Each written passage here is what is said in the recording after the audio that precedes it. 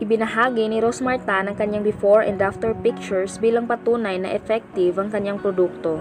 Ito ay sa gitna ng patutsadahan nila ng kapwa niya CEO at social media influencer na si Madam Kilay. Sinagot niya rin ang akusasyon na nagparitoke umano siya sa pamamagitan ng isang panibagong post. Iginiit niya na ang produkto lamang niya ang kanyang ginamit kaya ganon ang resulta sa kanya. Sinagot niya rin ang mga akusasyong nagparitoke siya na kahit kailan daw ay hindi niya ito ginawa. Kamakailan nga ay nagbangayan sa social media si Rose Martan at Madam Kilay na kapwa CEO matapos umalma si Madam Kilay na di umano ginagaya daw ni Rosmar ang kanyang mga produkto. Mainit ang naging bangayan ng dalawa sa kanilang social media. Nagpapalitan ng mga masasakit at pang-iinsulto ang dalawa.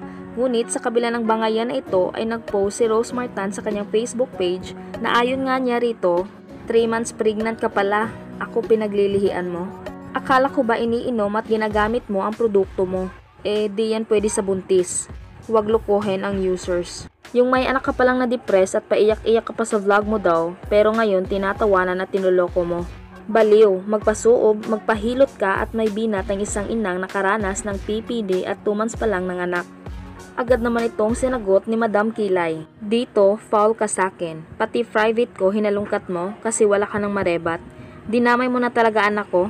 Nauna ka pa talaga sa balita, bastos ka. Sakto, may FB Live Ayuda Day ako. Riribatan kita ng malupit para lalo kang mapraning.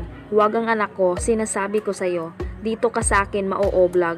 Nanginginig at gigil na gigil si Madam Kilay dahil sa galit niya rito dahil mismong anak daw niya ay dinamay na sa kanilang higwaan. Ayon sa FB Live ni Madam Kilay ay magtutuos raw sila at ipapatulfo daw niya si Rosmar dahil sa bastos at pati private nito ay dinadamay na niya. Ipapatulpo kita nang sumikat ka lalo.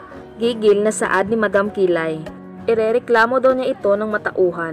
Hanggang ngayon wala pang reaksyon si Rosmar o dito. Tumigil na rin ito sa pagpo-post sa kanyang Facebook tungkol kay Madam Kilay.